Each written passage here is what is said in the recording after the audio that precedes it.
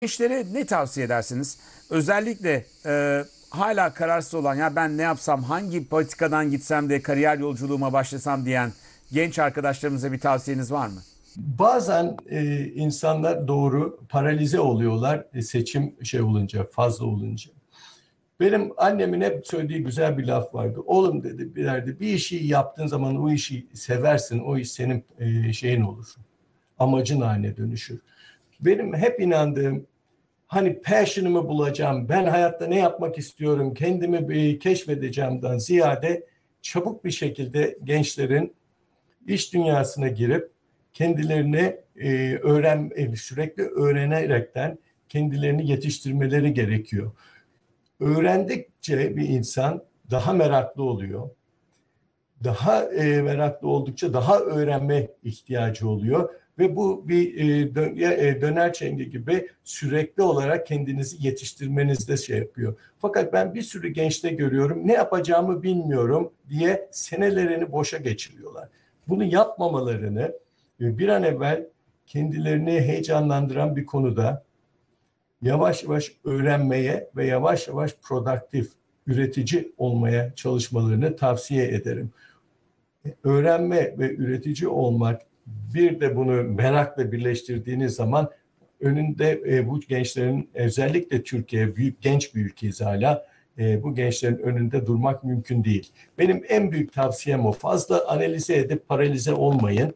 E, bir an evvel bir yönde ilerleyin. Her zaman yönünüzü değiştirebilirsiniz. Bakın ben mühendis oldum. Bugün tıp fakültesindeyim. Bugün cerrahi bölümünde profesörlük yapıyorum. Bunu ben bu yolu e, üniversiteye müracaat ederken bilmem mümkün değildi. İstemediğim bir yere girdim. Bugün makine mühendisliğine aşığım. E, hala yapıyorum. Dolayısıyla yani bu kadar fazla her şeyi ileriyi görerek de yapmaya çalışmayın. Saint Exupéry'nin çok güzel benim sevdiğim bir lafı var. Fransız e, şeyi e, yazar ve şairi. Diyor ki e, gençliğe göreviniz diyor geleceği görmek değil, geleceği yaratmaktır diyor. Yani geleceği görüp de ne olacağını bilip de analiz edip de paralize olmayın diyorum. Geleceği yaratın. Yaratmaya başladığınız zaman da heyecanlanırsınız. Merakınızla daha da e, iyi iş yaparsınız ve başarılı olursunuz. Benim tavsiyem budur gençlere. Çok yani hangi üniversiteye gideceğimden ziyade işte bir örneği benim. Hiç istemediğim bir üniversiteye giderekten oradan e, e, çok başarılı bir e, bilim adamı olabildim. Üç kitap önerin desem. Bu yaz okuyacağımız, muhakkak bu yaz bunu okumanız gerek dediğiniz üç kitap nedir? Ve Daron'un kitabını ben de yeni aldım. Ee, e, daha göremedim kendisini. Görünce kitapları, kitapların hepsini merakla okuyorum, imzalatıyorum.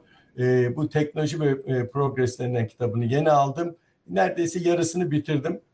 Ee, çok güzel bir kitap. Hakikaten e, o kadar güzel örneklerle başlıyor ki Fransa'daki e, Panama kanalının e, kurulmasında işte oradaki teknoloji nasıl Fransızlar onu yani e, çok güzel bir kitap. Gençlere tavsiye ederim. E, ve de e, genel e, insan üç yazılmış yani technical bir kitap değil. E, dolayısıyla okuması da oldukça keyifli ve kolay. Ee, diğer bir tavsiye edebileceğim kitap e, benim son zamanlarda okuduğum hem insan olarak sevdiğim, beğendiğim bir e, e, insan hem de kitaplarını beğendiğim bir insan. Özellikle de konu olarak bugünün çok içinde yanlışlar söylenen bir konu olan, çok politize olan bir konu ve gençlerin çok merakı var. Fakat ben gençlerle konuştuğumda çoğu zaman pek bu konuda okumadan meraklarının sadece gazete küpürlerinden geldiğini görüyorum. Bu da e, iklim değişikliği, işte e, buna karşı yapılan mücadele e, hakkında çok yanlış bilgilerle doluyorlar. İki taraftan da hem e, iklim değişikliği yoktur diyen e, grup tarafından hem de iklim değişikliği 10 sene sonra dünyanın sonuna getirecektir diyen e, ekstrem gruplar bunlar e, yanlış. Bu Michael Schellenberger diye e, Kaliforniyalı bir e, e, hem politikacı son zamanlarda politikacı oldu. E, Kaliforniya'nın valisi olmak üzere uğraştı olamadı. Çok iyi bir e, e, iklim e, değişikliği üzerine bir e, uzman Bunun Apocalypse Never diye bir kitabı var. Tavsiye ederim çünkü e, çok e, net bir şekilde ve doğru bir şekilde ve de referansları vererekten e, yazdığı bu kitapta e, iklim değişikliğinin ve etkilerinin çevreye olan etkilerini, insan haklarına olan etkilerini çok iyi analize eden bir kitap bence.